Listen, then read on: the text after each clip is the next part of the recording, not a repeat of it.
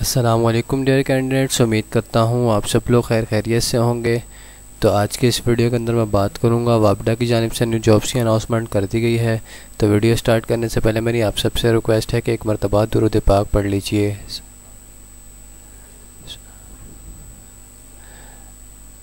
तो गाइज़ आपने simply Google पर क्रोम ओपन कर लेना है। उससे पहले आपने मेरे चैनल को सब्सक्राइब करके बेल आइकन को ऑन कर लेना है। और वीडियो को लाइक कर दीजिएगा ताकि नई जॉब्स की अपडेट आपको बसानी मिलती रहे। सिंपली आपने यहाँ पे सर्च करना है जॉब बाज़ार डॉट कॉम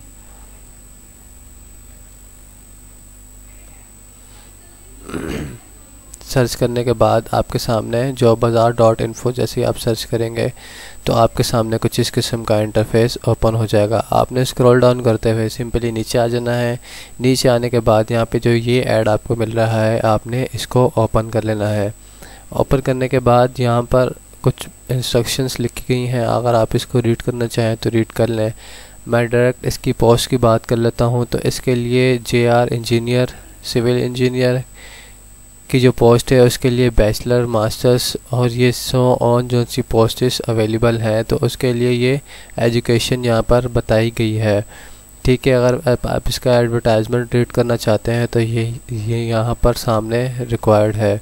अच्छा क्वालिफ़िकेशन इसके अंदर क्वालिफ़िकेशन के साथ साथ आपका एक्सपीरियंस भी रिक्वायर्ड है और यहाँ पर एज लिमिट वगैरह भी बताई गई है।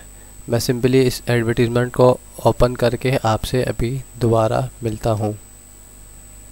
तो गाइस इनका ये एडवर्टीज़मेंट मैंने अपने पास ओपन कर लिया है। जे आर इंजीनियर की जो बात करूँ तो उसकी जो स्केल है, वो 17 स्केल रिक्वायर्ड है।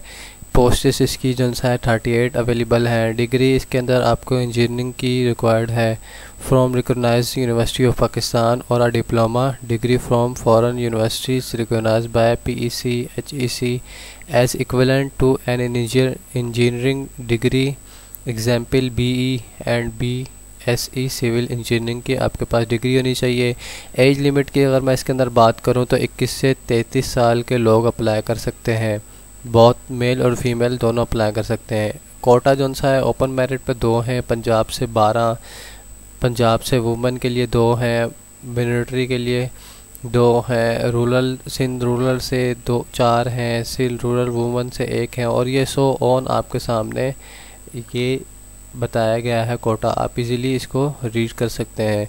ठीक है, अब जे आर जियोलॉजिस्ट की अगर मैं बात करूँ, इससे अंदर आपकी एम एस जो स्केल है वो सेवनटीन है और सीट्स इसके अंदर फाइव रिक्वायर्ड हैं। इसके अंदर एम एस सी आपकी जियोलॉजी में सेकंड डिवीज़न से आपने पास की होनी चाहिए।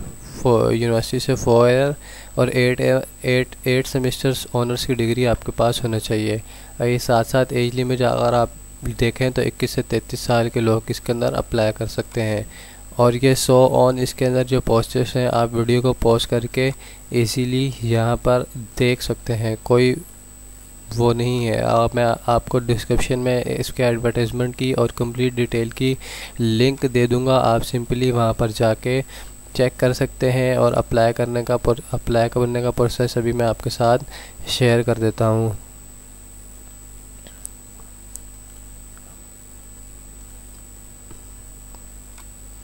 तो गाइज़ यहाँ पर आपने लिंक में जो अप्लाई करने का तरीका मैं आपको दे दूँगा डिस्क्रिप्शन में, आपने वहाँ पे सिंपली क्लिक करना है। क्लिक करने के बाद आप पर, यहाँ पर जैसे ही ओपन आएँगे तो यहाँ पर आल जॉब्स के ऊपर आपने सिंपली क्लिक करना है। क्लिक करने के बाद स्क्रॉल डाउन करना है और यहाँ पर फ़र्स्ट पर आपको जो सा है, वापडा की जानब से जॉब जो सी वो मिल जाएगी।